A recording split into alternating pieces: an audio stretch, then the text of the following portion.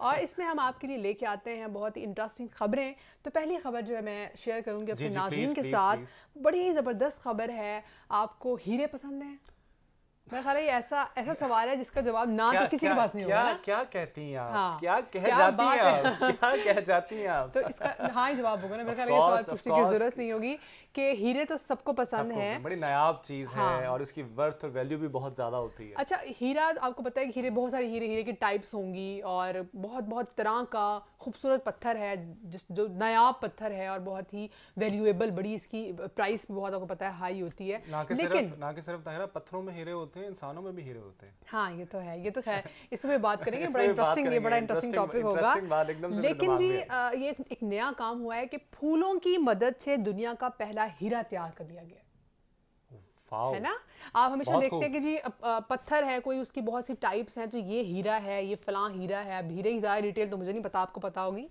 तो इस तरह से एक नए अपने तर्ज का एक नया हीरा बनाया गया है। चीनी साइंसदानों ने फूलों की मदद से दुनिया का पहला हीरा तैयार कर लिया है। हम्म। ये बड़ी ज़बरदस्त खबर है और बहुत ही रिसेंट खबर है। इसकी तफसील भी आप जाके पढ़िएगा। कुछ मैं आपको तफसील इस बारे में बता भी देती हूँ कि ये जो फूल है मकामी फूल थे वहाँ के तो इसका आगे डिटेल में बताती हूँ कि इसका क्या नाम है।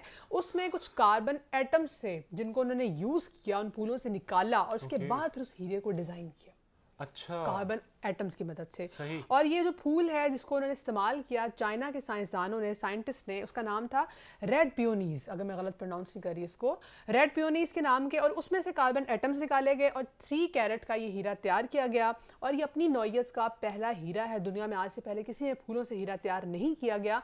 और इसकी जो जिसे कहते हैं इनाग्रेशन और पूरी हम्म। जो सरमनी होती है नकाब कुशाई की वो चीन के सूबे हेनान के शहर लोयांग में की गई। और बड़ा बहुत ही लोगों ने इस, इसमें इंटरेस्ट भी लिया और बड़ी दुनिया ने इसको आके देखा भी। और इस हीरे की कीमत जी तीन लाख युआन जो चाइनीज़ करेंसी है ये इसकी कीमत है और इसकी प्राइस है। इसकी मज़ीद तफसील भी आप जाके देखिएगा कितना खूबसूरत और नायाब ये हीरा है और कैसा लग रहा है और आपने ख़रीदना है नहीं ख़रीदना ये भी आप अब ये तो आपकी जेब पर डिपेंड करता है ना। फिर आप इसको सर्च भी कीजिएगा। जुबैर से पूछते हैं कि क्या इंटरेस्टिंग खबर ये आज निकाल के लाए हैं खोज के लाए हैं अपने नाजरीन इंटरेस्टिंग हम्म, खबर तो मैं भी लेकर आया हूँ जिस तरह आप बहुत ही इंटरेस्टिंग खबर लेकर आई हैं। अच्छा मुझे बात बताएँ ये रस्सी का लफ्ज सुना आपने? रस्सी। हाँ रस्सी। बड़ी कॉमन सी चीज़ हाँ, है ना? बिल्कुल कॉमन तो ये किसी से तैयार होती है? रस्सी नॉर्मली सुना होगा धागों से हाँ, अच्छे किस्म के अच्छी नस्ल के धागों से। हाँ। अगर मैं कहूँ कि एक ऐसी रस्सी जो कि बालों से तैयार होती है।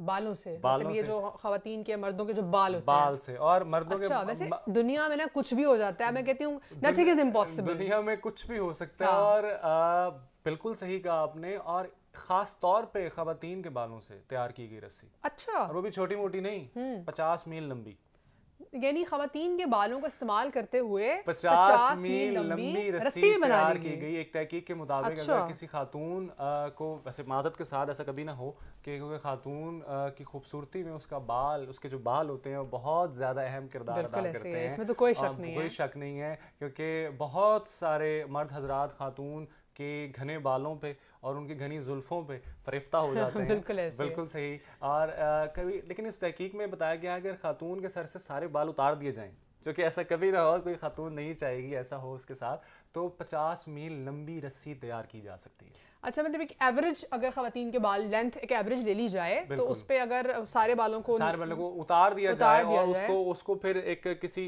तरतीब से उसको समेटा समेटा जाए बनाया जाए, बनाया जाए उसको तरतीब से तो पचास मील लंबी रस्सी तैयार हो सकती है। और ये एक बड़ी ही दिलचस्प खबर मुझे लगी तो मैंने कहा फ़ौरन ही खबर मैं अपने नाजरीन और हाजरीन से शेयर करता चलूँ। और लेकिन इस, इसका एक्सपेरिमेंट करने के लिए अपने बाल नहीं काटने बैठ जाए एक्सपेरिमेंट करने के लिए इसको एंजॉय करना है और कोई भी खातून तो खैर कभी चाहेगी नहीं कि उसके सर के बाल इस तरह से काटे जाएँ। तो ये कभी ऐसे कोई किसी मर्द के दिमाग में ऐसी कोई ख्याल आएगी कि मैं अपनी घरवाली के बाल काट के एक्सपेरिमेंट करूँ या किसी no, अपनी महबूबा के बाल काट के एक्सपेरिमेंट करूँ बिल्कुल ऐसी गलती मत कीजिएगा क्योंकि औरत के बालों में बहुत खूबसूरती छुपी है और औरत लगती खूबसूरत अगर उसके बाल खूबसूरत और घने हों।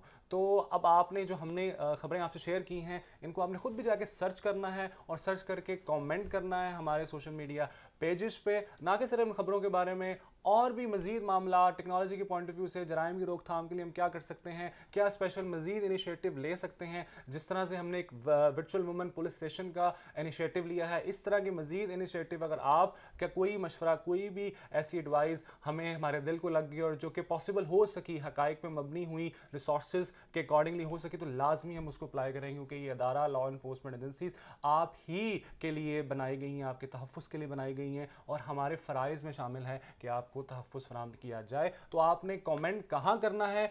सोशल मीडिया पेजेस पे। ताहिरा बताएँ। हमारा जी ट्विटर हैंडल है P S C safe cities और हमारा फेसबुक का अकाउंट है पंजाब सेफ़ सिटीज़ इसी के साथ मुझे और जुबैर को इजाज़त दीजिए। कल फिर आपकी खिदमत में हाजिर होंगे। अल्लाह हाफ़